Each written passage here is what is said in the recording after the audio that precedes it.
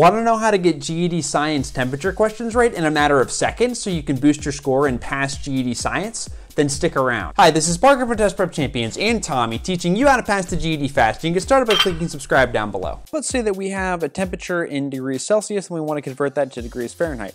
All you do is multiply the degrees Celsius by 1.8, then add 32.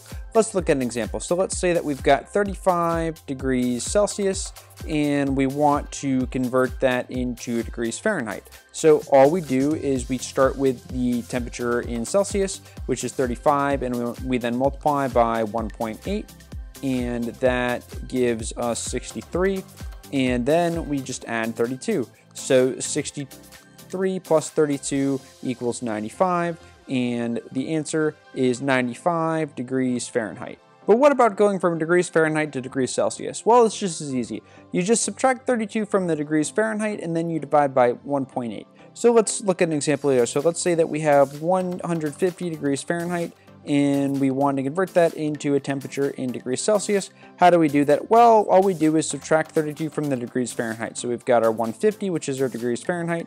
We subtract 32, and for speed, we'll use our calculator, which gives us 118, and then we just divide by 1.8. And again, the calculator in seconds gives us the answer, which is about 65.56. So we've got 65.5 6 degrees Celsius is our answer. That's the fast way to do it, and if you can't remember that for your test, then don't worry, you will be given the slower formulas. So here's a clip from my latest episode of Live GED Help where I break down how to do a GED temperature conversion using the slower formula. Formula like this, all right? So I'm writing TC here, and C means Celsius. So this is, I'm talking about temperature in degrees Celsius. So a formula you might get would be, and they'll give you these formulas temperature in degrees Celsius is equal to the temperature of degrees Fahrenheit, okay, minus 32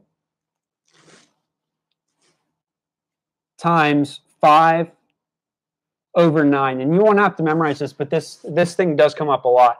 All right, and so they might give you like a formula like this. They'll say the temperature Celsius is equal to temperature Fahrenheit minus 32 times 5 over 9. And they might give it to you the other way. They might give you the temperature Fahrenheit and they might ask you to convert it to Celsius. So this is a formula that you can use, all right, to find the, the temperature in Celsius or to find it in Fahrenheit. So if you want to find the temperature in Celsius, let's say that uh, you're given a temperature in Fahrenheit. Like let's say that you're given, um, let's say you're given like 80, for example. Like so, let's say we've got 80 degrees, okay, in temperature Fahrenheit, and we want to we want to find what the temperature is in Celsius. So all you would do here, all right, so we've got TC, that's temperature Celsius. So for temperature Fahrenheit, you would just substitute that in. So if we've got 80 degrees Fahrenheit, we want to figure out what that is in Celsius.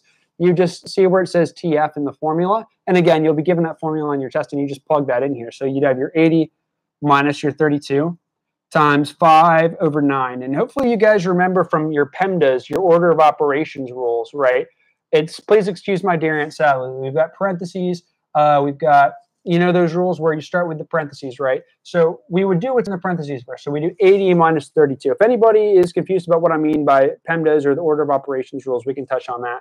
Um, it's please excuse my dear Aunt Sally. That is parentheses and then exponents and square roots, then multiplication, division, and addition and subtraction. And the addition and subtraction order is not really that important. Um, but anyway, so we would first do the parentheses. So 80 minus 32 is going to be 48. So we would be left with temperature Celsius is equal to 48. And we are still multiplying this, right? So temperature Celsius is equal to 48. And that's still multiplied by 5 over 9. And my cat is... We have another guest appearance, everybody. We've got Tommy back on here for another guest appearance. And we're up to 15 thumbs up. Thank you, whoever that was that bumps us up to 15. Big champion shout out. Thank you so much. It really means a lot to me. And so Tommy wanted to make another guest appearance here. Um, could give him the marker and see if he wants to teach, but um, we might actually, folks, we might have the first cat to ever pass the GED here because he listens to me teach. He listens to my live streams. He popped in on the last live stream. And so, you know, he hears enough of this information. Um, we might have the first cat ever to pass the GED right here. Um, so, okay, thank you for correcting me on. So Sushant, is that how you pronounce it? Thank you for correcting me. I do apologize for not uh, being able to pronounce that correctly here.